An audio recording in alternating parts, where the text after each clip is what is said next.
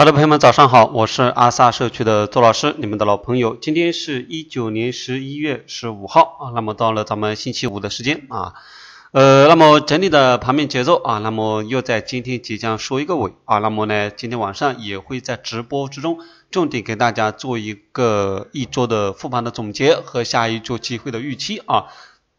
那么今天早盘呢啊，还是简单的给大家说一说日内打点的机会啊。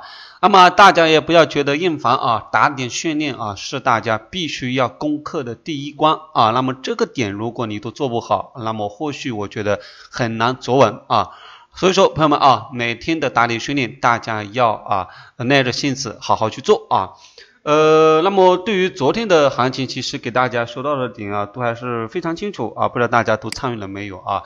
呃，首先英镑对不对啊？英镑昨天给大家交代的思路是什么啊？就是这个位置的震荡啊，大家不要想多了啊。这个位置没破坏之前，大家就按着这个结构去做就可以了，对不对啊？这个多单啊，是不是起来了啊？是吧？这一波利润啊，相对来说也还是比较可观的啊，接近六十个点了啊，六十个点的利润。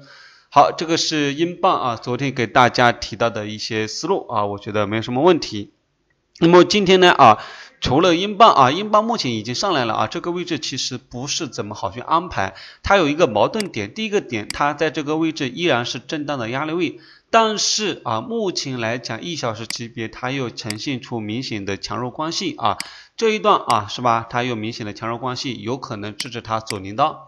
所以说，在这个模棱两可的地方啊，咱们就选择啊不参与观望啊，咱们永远做有把握啊，概率偏向我们的这种行情啊。所以说，英镑啊不作为今天的一个主要的一个对象啊。那么今天主要的对象啊，第一个可以把重把目光锁定在原油。原油当下的结构，大家应该从这样一个局部的状态来讲啊，我觉得大家应该都很清楚吧啊。抛开之前四小时级别大的震荡走势，这样的一个十五分钟级别的行情，我觉得非常的清晰，对不对啊？整体来讲，从这里下来啊，昨天进行了一波跳水，然后今天又在弱势的往上走。啊，那么在这个相对的高点，要么是内回档，要么是正回档，一定存在一个空点，对不对啊？这是我们云游今天可以去期待的一个行情点啊，我觉得还不错啊，从结构。从目前的强弱关系来看啊，这个空都还不错啊，确认性比较高啊，所以说今天原油啊，咱们只需要等到高位空的一个点啊，那如果是内回档啊，咱们看七十六点四或者六十一点八左右啊，如果是正回档，咱们就看前高啊，结合时间节奏来看，我们到时候会给它做一个判定啊，所以说呢。今天原油的一个回档的空点啊，将是啊比较重要的一个行情之一啊，是吧？没有什么问题。好，那么除了原油啊，那么今天另外一些打点的机会啊，其实黄金来讲啊，去做打点啊，也同样没什么问题，朋友们啊。黄金目前来讲啊，朋友们啊，这个情况啊，其实相对来说还是比较清楚啊。呃，昨天给大家说到了这样的一个压力位位位压力位啊位置附近，对不对啊？还是没有突破啊，没有突破。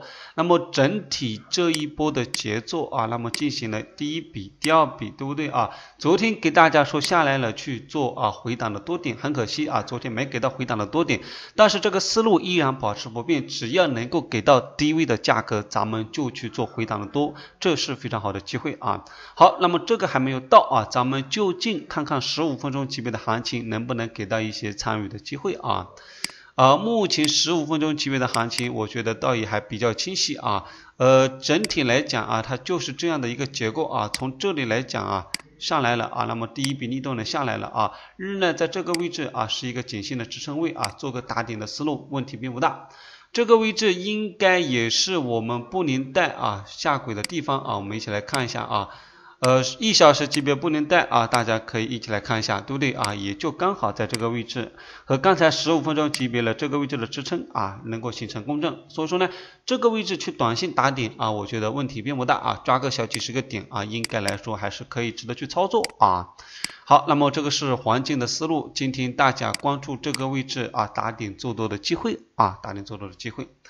好，朋友们，这个是咱们的一个黄金的安排啊。那么今天刚才说到了黄金和原油啊。那么呢，这是啊两个比较重要的点啊。那么呃，在空间利润上面啊，一旦抓住了啊，也会不错啊。因为黄金原油啊，它日内的波动相对来说还是比较舒服的啊。希望大家能够重点去对待啊。